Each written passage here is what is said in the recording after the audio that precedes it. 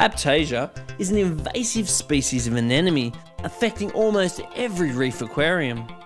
If left untreated, they quickly multiply, killing corals and other invertebrates.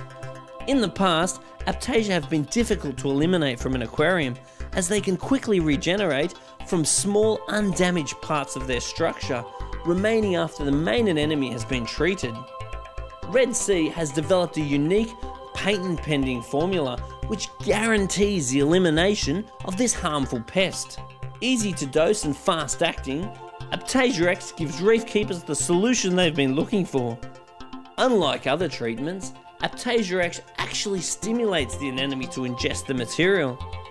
The unique sticky formula prevents both the regeneration of residual tissue and stops the larvae from being released into the water.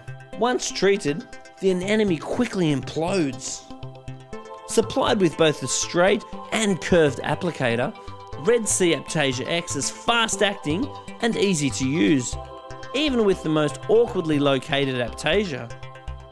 Highly effective and totally reef safe, Aiptasia X is the solution for all your Aiptasia problems.